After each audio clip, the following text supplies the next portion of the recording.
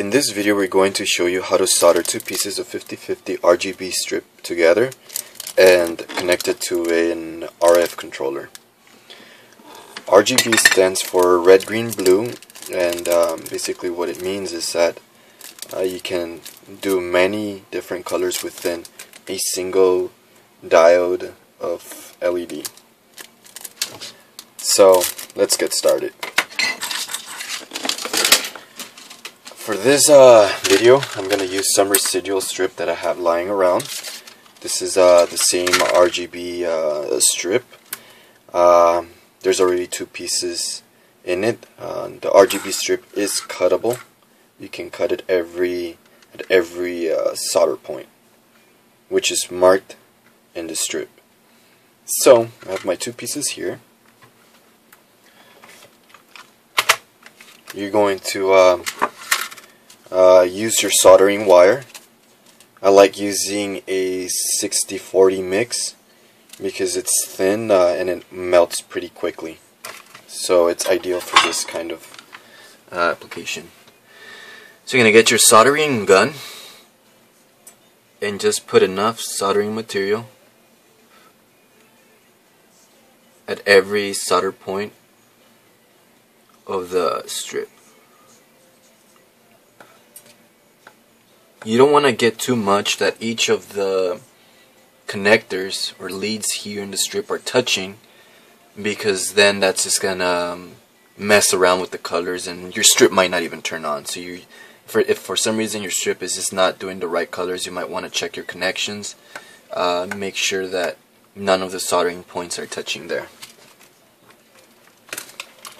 We're gonna put some soldering material at the other end of the strip that we're gonna use to connect. Just very little. There we go. Okay. Now we're gonna get our wire. Here I'm using some spare wire that I have lying around. Flexible and thin wire works best uh, for this. So any wire, any electrical wire works, uh, but it, you know, as long as it's flexible, that'll just work better for for on, on this end. So uh, as you can see, this wire is color coded. Your wire doesn't have to be, but it does help when soldering each end. If you use any wire that's not color coded, just make sure that each point that you solder uh, matches at the other end of the strip. So, uh, it probably won't show here in the camera that well, but at the point of each strip you can see that there's a uh, 12 plus, which is the power, green, red, and blue. Same at the other side. So, we're going to interconnect those together. I'm going to get my wire here. And I'm going to use black for power. Uh, I'll get my soldering uh, flux here. This is optional, but it does help in the soldering process. So I'll just dip my wire. Go. And we're gonna put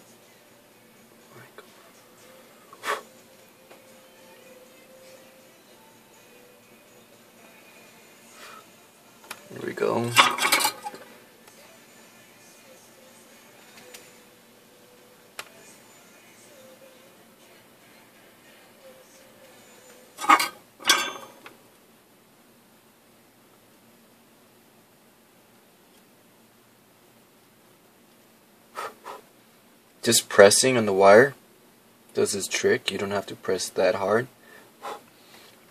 Um, it'll just melt right into place. Now we do the other end. Also, um, you want to make sure that your tips, your whenever you strip the wire, aren't too long. I just want to have just a little bit of wire sticking out. That way, you know, when you solder them, they're not touching at the base or anything either. So I'm just going to trim off just a little bit here from this wire. Okay. Then I'm going to solder at the other end, making sure that I get the proper connection. So 12 plus or black to uh, black at this other end. I'm going to use this as a weight.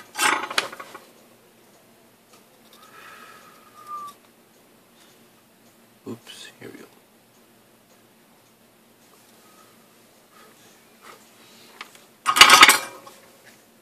Having steady hands helps.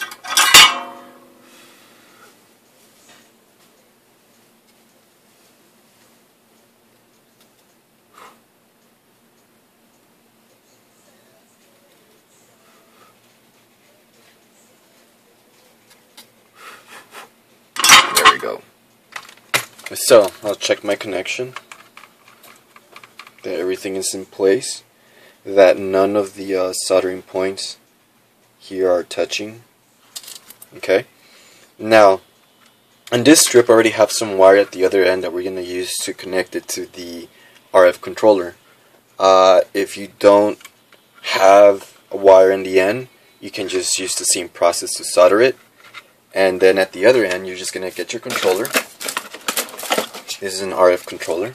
And you're going to connect them to their leads here.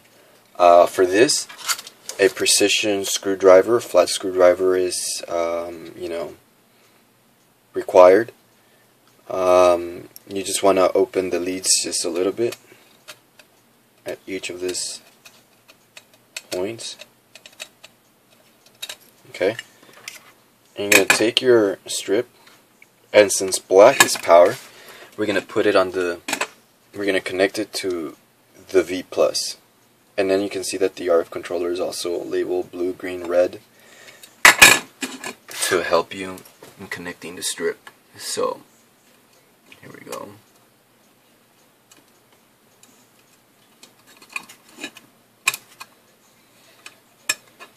Tighten it up. And um, red to red.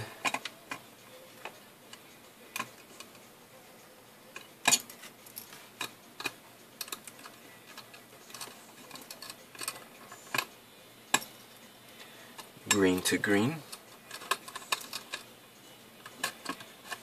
see.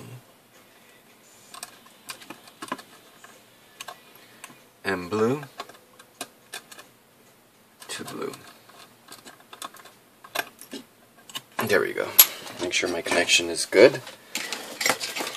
Hook it up to the power supply at this other end.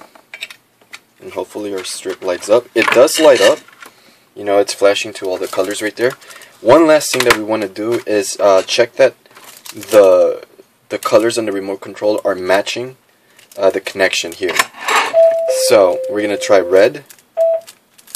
Let me see if I have the right controller here. Uh, let me see. Okay there we go. I was using a different controller. So we have red. Okay. Um, green works. Okay, and you can see that the at the other end it works too.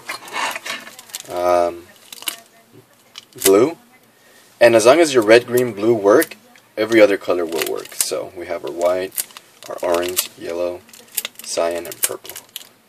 And that's how you uh, solder two pieces of RGB strip together. Your wire, of course, can be any length that you required it to be. Um, for any application that you have.